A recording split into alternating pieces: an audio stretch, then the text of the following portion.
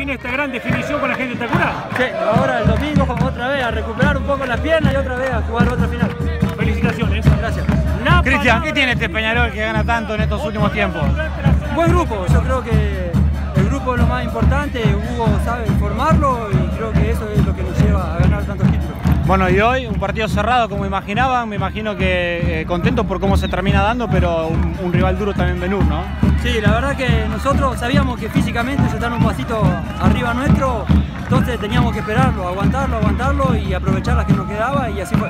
Bueno, y ahora un partido con mano a mano ahora para otro título absoluto, en este caso ante, ante Tacural. Sí, la verdad que otra vez a recuperar las piernas en tres días y a volver a intentar ganar la, la orejona. Bueno, felicitaciones. ¿eh? Muchas gracias.